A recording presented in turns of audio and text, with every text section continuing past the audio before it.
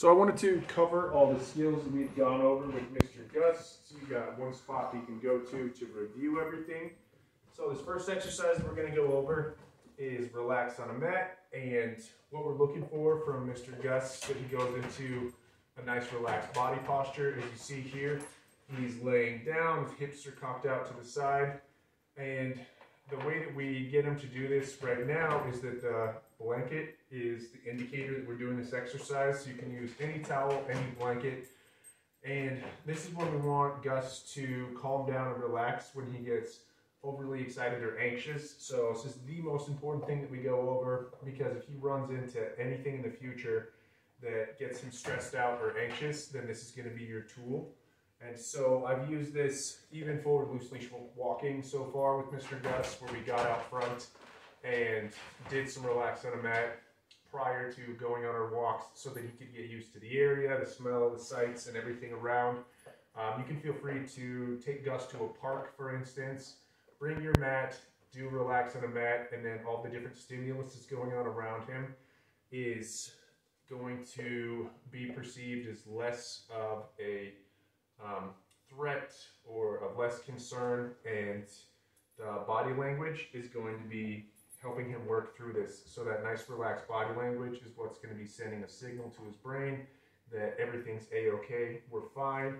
Um, and so the way that you can uh, work with this is um, working from distant, uh, different distances and different uh, levels of distraction. So if he had too difficult of a time with a specific stimulus, let's say bicycles at the park, I would move further away.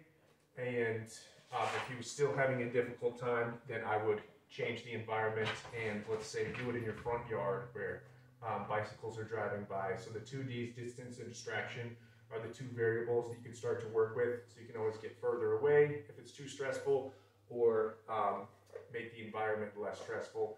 So, uh, you know, an environment like this, a living room where there's limited noises and smells and activity going on is an ideal environment when we're learning relax on a mat and you can always up the ante and make it more challenging over time. So we're gonna take a treat, toss it on the mat, toss off the mat over here. Here you go, bud. I'm gonna scoop up the mat here. We're gonna go over our name game exercises. With our name game exercises, I just want some good eye contact. And with the clicker, I'm gonna pinpoint the moment that he has done what I'm looking for. So I'm gonna say, Gus, take the treats, drag them up towards my face. And this is called luring. As soon as we get him to make eye contact from luring, then I'm gonna try it without luring. I'm gonna say, Gus, He's going to look at me uh, without dragging the treats up towards my face. So that's a little bit more challenging, um, but we definitely want that. That's actually an exercise that I strongly encourage you to uh, utilize throughout the day when he's getting used to um, being back at home. Just constant name games, get him to focus in. So he's walking around. I say, Gus, get him to focus in, bam.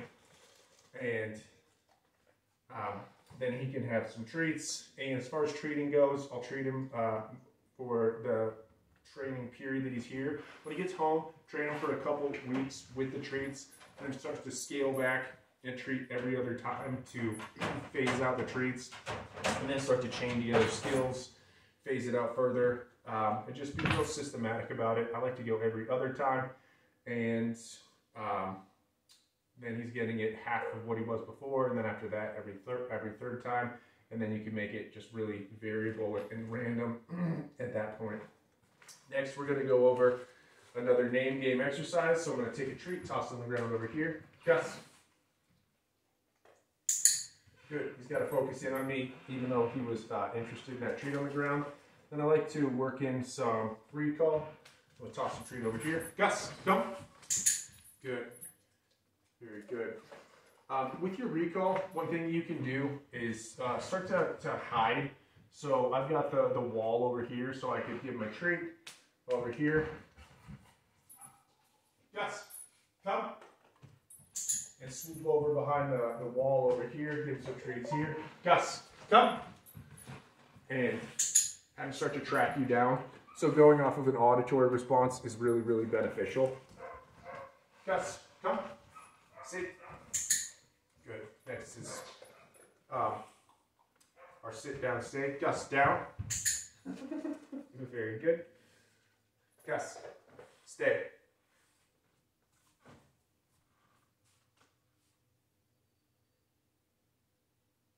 Free. Good boy. Very good.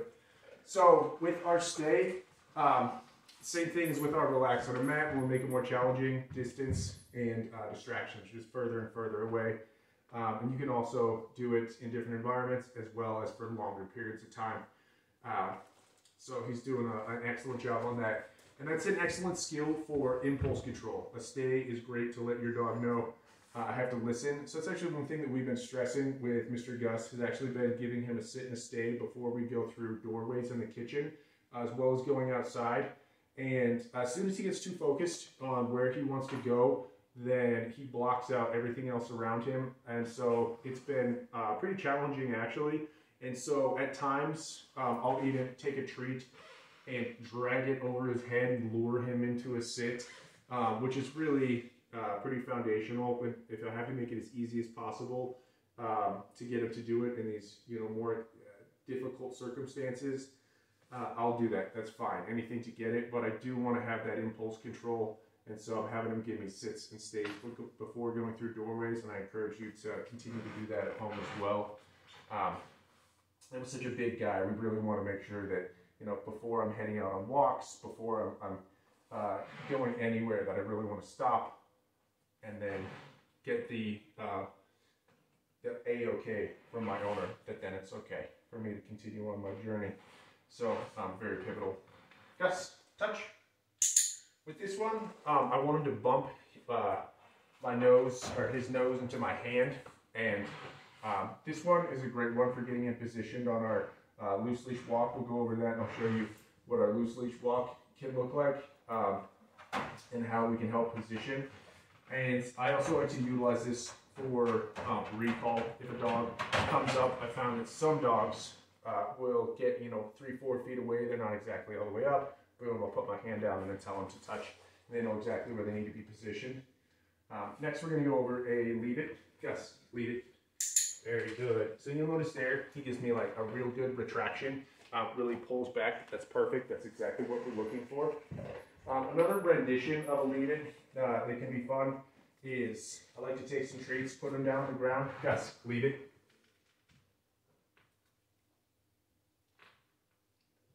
Free. Wow. And um, right now we're at the stage to where we make a little teepee over our treats and I'm covering them and uh, then he has to wait and then I tell him free when he can go after it. Um, it's far more challenging once I get to the point that I can just drop kibble on the ground, tell him leave it. Um, but right now we're in a, an intermediary stage and I'm really proud of his progress. He's done an excellent job. Um, next I want to go over his space command. So this is our anti-jumping command. Anytime that he's too close, um, I want to be able to tell him space and he should stop about two feet shy. Give me a little bubble. Yes. Yes. Yeah. Space. Good. Very good. Very good.